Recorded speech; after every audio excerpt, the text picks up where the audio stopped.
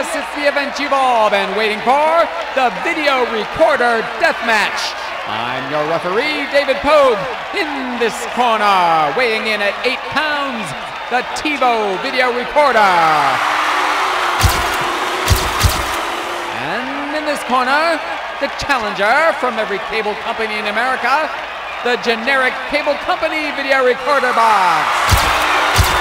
Let the death match begin.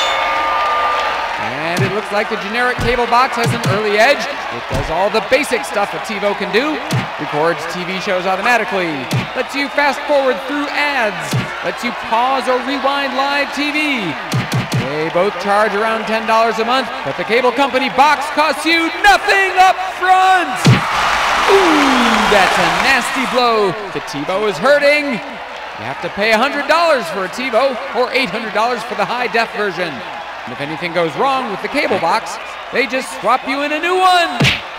That's gotta hurt. Can the TiVo survive? Does it have a prayer in this matchup? But wait a minute, wait a minute. Something's going on here, folks. The TiVo is staggering to its feet.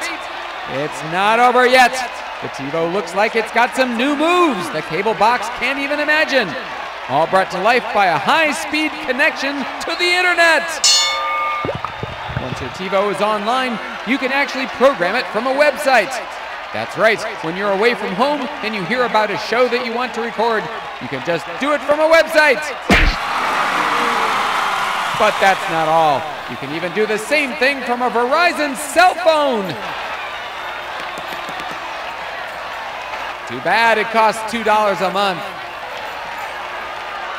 But it's still a palpable hit. And hold on, what's this? The TiVo can also play podcasts,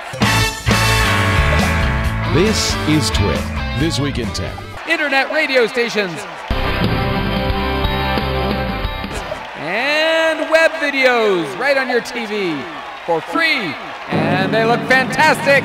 It's unfortunately on my PC, which is um, in the attic. Uh, and local traffic, and weather, and local movie showtimes. It's all easy and all free.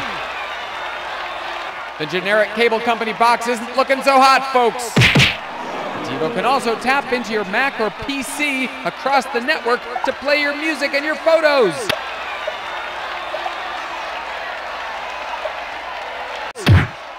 You can even buy or rent downloaded movies from Amazon.com, and they show up right in the TiVo's list of recordings.